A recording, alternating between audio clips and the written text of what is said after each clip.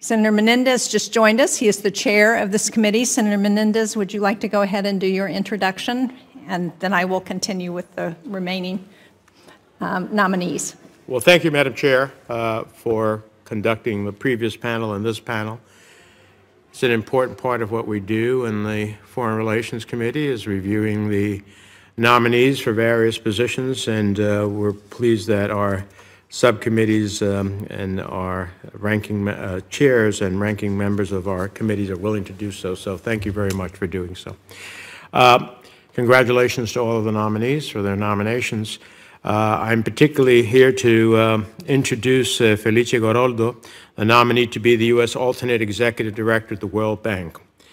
At a time when China is increasingly willing to use its economic power to pressure other nations to do its bidding, when Latin America is trying to recover from the economic impact of the COVID pandemic, when Putin's war in Ukraine threatens the food supply of developing nations around the world, strong, dependable leadership at the World Bank has never been more important.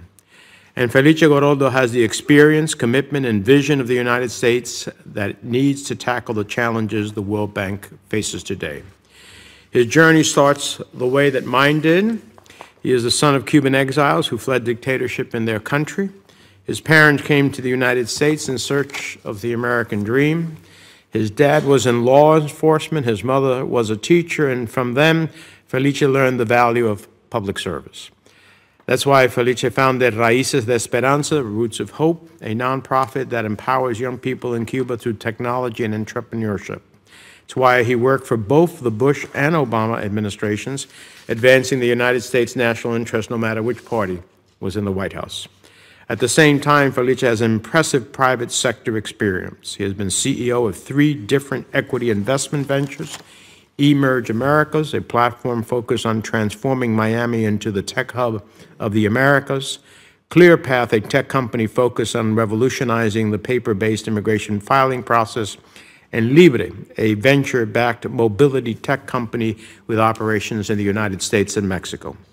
In the wake of COVID, his understanding of finance, economic statecraft, and technology will help the United States and its like minded partners make the concerted push to prevent economic collapse in the developing world.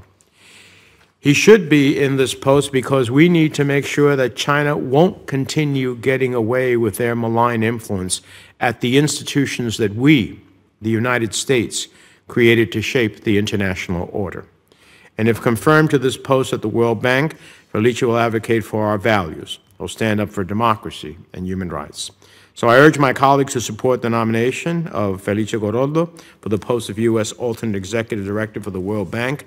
I don't, as the chairman, very often come to introduce individuals, but Felice, uh, you certainly deserve it. Thank you very much, Madam Chair. Thank you very much.